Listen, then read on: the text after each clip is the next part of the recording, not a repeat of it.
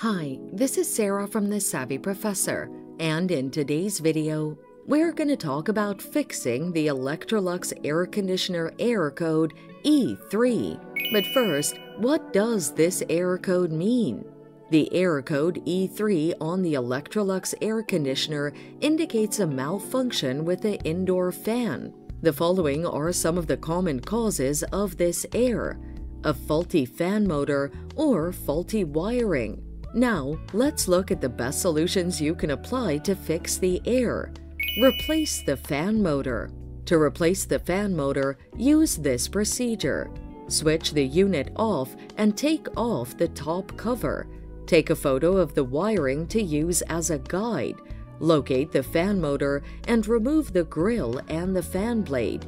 Disconnect the wiring and label the wires as you remove them.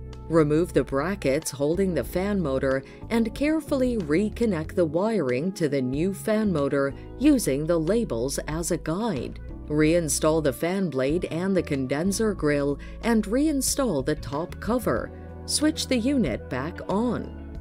Inspect the wiring for any physical damage. If the wiring harnesses are damaged, replace them with new ones. If all these solutions fail, seek advice from a certified technician. And that's it. Thanks for watching. Till next time.